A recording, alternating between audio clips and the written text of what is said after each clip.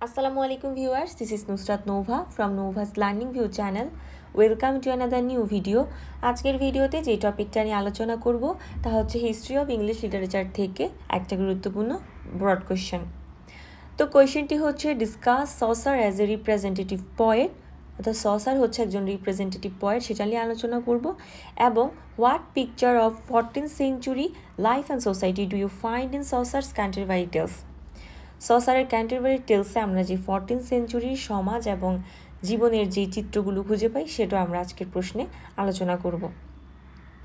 Geoffrey Chaucer was a poet in the fourteen century he represents his own age and holds the mirror of his time Geoffrey Chaucer ছিলেন চোদ্দ শতকের একজন কবি এবং তিনি তার সমসাময়িক যে অবস্থা, সেই অবস্থার চিত্র তিনি তুলে ধরেন এবং এই জিনিসগুলো কি করেন? প্রতিনিধিত্ব করেন। Chaucer is the last of the medieval and the first of the modern writers Chaucer ছিলেন মধ্যযুগের শেষ এবং আধুনিক যুগের শুরুর লেখকদের মধ্যে প্রথম। As Friends has said in his poetry, we find the essential spirit both of the age that was passing and of the age that was to come.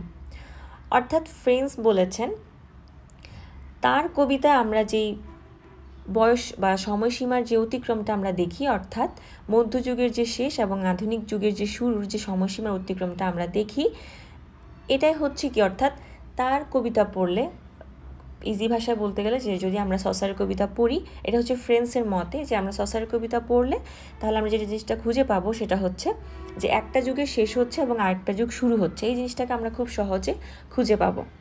The prologue to the Canterbury Tales is a picture gallery of all classes of his contemporaries.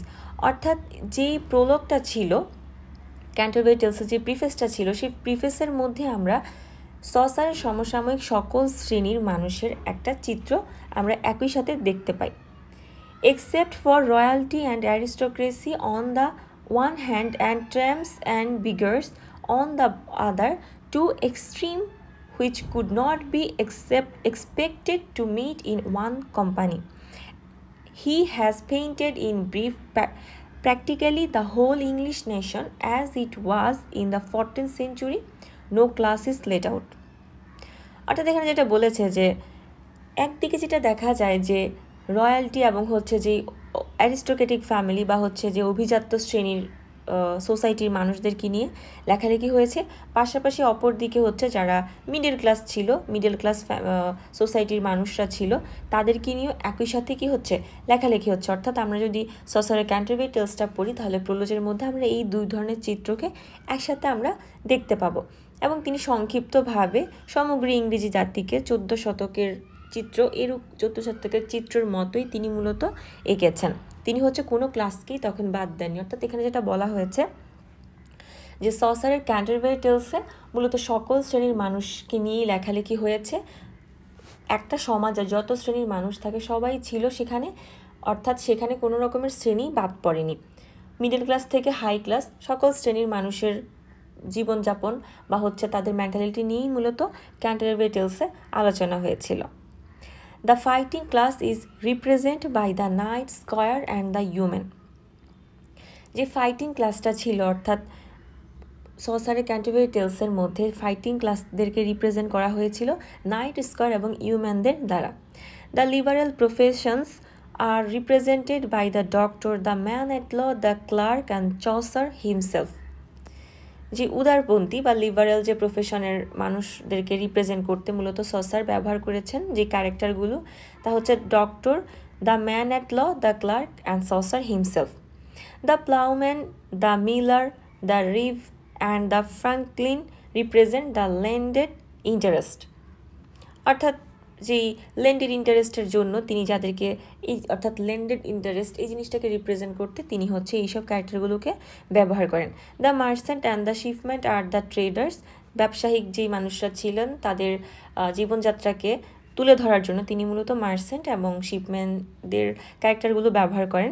The crafts are represent by the bath the haberdasher the carpenters the weaver the dyer and the taper তিনি মূলত যেই, এই যে ক্র্যাফটস যারা ছিল তখনকার সময়, তাদেরকে রিপ্রেজেন্ট করতে এইসব ক্যারেক্টারগুলোকে তিনি ব্যবহার করেন। অর্থাৎ এইসব, এই যে আমরা তখন যতগুলো ক্যারেক্টার দেখলাম, এইসব ক্যারেক্টারের মধ্য দিয়ে তখনকার সময়ে যারা ফাইটার ছিল, যারা লিবারাল প্রফেশনে ছিল, যারা ট্রেডার ছিল ল্যান্ডেড ইন্টারেস্টার ছিল ক্র্যাফটসম্যানরা ছিল, এই এই সব মানুষদেরকে মূলত এইসব ক্যারেক্টারের মধ্য দিয়ে এদের চিত্র, এদের মেন্টালিটি সব কিছু কী করেন সসার? তার ক্যান্টারওয়ে টেলসে তুলে ধরেন।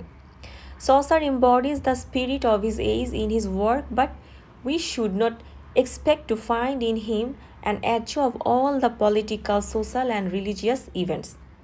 Chaucer তার কাজের মধ্যে তার যে সমসাময়িক যে চেতনা সেটাকে তিনি তুলে ধরেন কিন্তু আমরা তার মধ্যে সমস্ত রাজনৈতিক সামাজিক এবং ধর্মীয় ঘটনার যে প্রতিনিধিত্ব সেটা আমরা খুঁজে পাওয়াটা অর্থাৎ আমাদের এই জিনিসটা খোঁজা আমাদের উচিত নয় the earlier part of his এই স the great victories of Crecy and Poitiers তার সমসাময়িক সময়ে, অর্থাৎ সসারের যুগের প্রথম দিকে মূলত, যেই ক্রেসি এবং হচ্ছে পোয়েটার্সের একটা দুর্দান্ত বিজয় আমরা দেখতে পাই।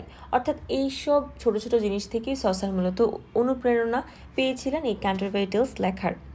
The framework of Canterbury Tales is typical of his age Canterbury টেলসের কাঠামোটা ছিল মূলত একটা আদর্শিক একটা কাঠামো ছিল। Companies of pilgrim going to some shrines were a common sight in those days অর্থাৎ কোনো কোনো শ্রীন বা মন্দিরে যেই তীর্থযাত্রীদের সঙ্গে তাকে দেখা যায়, অর্থাৎ তীর্থযাত্রীদের সঙ্গে ছিলেন সসার এমন একটা দৃশ্য তখন আমরা এই ক্যাল বাই টেলসের মধ্যে খুঁজে পাই, যখন আমরা প্লোসটা পড়ি। Generally the pilgrims were not in a religious mood যা যে পিলগ্রিমসরা ছিল বা যে তীর্থযাত্রীরা ছিল, তখন অর্থাৎ যারা ডিনে যাওয়ার জন্য তখন যাত্রা করেছে, সেই তীর্থযাত্রীদের সবারই মেন্টালিটির মধ্যে যেটা দেখা যায় যে কয়েকজন ছাড়া কারোই রিলিজিয়াস অর্থাৎ কেউই রিলিজিয়াস মুডে ছিলেন না। Chaucer's pilgrim are ordinary men and women তার যেই পিলগ্রিমটা ছিল যে তীর্থযাত্রীরা ছিলেন, তাদের মধ্যে ম্যানও ছিলেন এবং ওমেনও ছিলেন। They are not worried about the reigning monarchs of his or his court favourite or the court intrigues অর্থাৎ তারা কেউই মূলত যেই তখন রাজা বা তার যে সিংহাসন, এসব নিয়ে তারা কেউ চিন্তিত ছিলেন না। কিংবা হচ্ছে যে কীভাবে একটা ষড়যন্ত্র হচ্ছে কোর্টে, এগুলো নিয়েও তারা কি করেছেন? ষড়যন্ত্র সরি তারা হচ্ছে এগুলো নিয়ে কনসার্ন ছিলেন না। পাশাপাশি কি তাদের রিলিজিয়াস দিকেও কোনো রকমের মুড ছিল না। The age of Chaucer was also remarkable for the rise of the middle classes অর্থাৎ এই মিডিয়াল ক্লাস শ্রেণীকে মূলত উত্থানের জন্য সসার এই জিনিসটা আরও সুন্দরভাবে প্রেজেন্ট করেন। The common people in the cities were becoming rich and powerful তাই যেটা হয় যে শহরের যে সাধারণ মানুষরা ছিল, তারা ধনীও এক সময় দেখা যায় ক্ষমতাশীল হয়ে ওঠে। Many of them were becoming knights of their shires অর্থাৎ তাদের অনেকেই নাইট হয়ে উঠেছিল, অর্থাৎ ফাইটিং ক্যারেক্টার হয়ে উঠেছিল। Chaucer pilgrims all belong to the middle class সসারের এই তীর্থযাত্রীরা সবাই ছিল মূলত মধ্যবিত্ত। অর্থাৎ এই প্রশ্নে যেটা মেইন কথা ছিল, যে এরকম যেহেতু বলা হয়েছে প্রশ্নে যে ফরটিন সেঞ্চুরি সোসাইটি এবং হচ্ছে আমাদের লাইফ নিয়ে লাইফ নিয়ে যে সসার যেই ক্যান্টারভেটার্স লিখেছেন, সেটাকে আমরা কি করব? তুলে ধরব। তো এখানে যেটা আমরা দেখতে পাই যে মূলত সসার যেটা করেছেন এই যে এসব ক্যারেক্টারের মধ্য দিয়ে সেই সময়ে চিত্রগুলো, সমাজের চিত্রগুলো তুলে ধরেছেন যে ফাইটার লিবারেল প্রফেশন দেন হচ্ছে ট্রেডার্স লেন্ডার ইন্টারেস্ট এইসব মানুষের সমসাময়িক জীবনযাত্রাগুলো তুলে ধরেছেন। এবং যেটা বলা হয়েছে এখানে যে টেভার্ড ইনে যাত্রায় যে পিলগ্রিমসরা ছিল, তারা সবাই মূলত নিজেদেরকে নিয়ে ব্যতিব্যস্ত ছিল। অর্থাৎ কেউই রিলিজিয়াস মুডে ছিলেন না, পাশাপাশি হচ্ছে সেই সমসাময়িক যেই সিংহাসন কিংবা হচ্ছে কোর্টের যেই ইন্টারেস্টগুলো হচ্ছিল, সেগুলো নিয়ে তাদের কোনো রকমের মাথা ব্যথা ছিল না। এমন টাইপের ম্যাটারগুলো নিয়েই মূলত সসার এই ক্যান্টারবারি টেলসটা সুন্দরভাবে সাজিয়েছেন। তো আজকের ভিডিওটি এতটুকুই, আশা করছি তোমরা বুঝতে পেরেছ। কোনো কমেন্ট থাকলে অবশ্যই কমেন্ট বক্সে জানাতে হবে। ধন্যবাদ সবাইকে।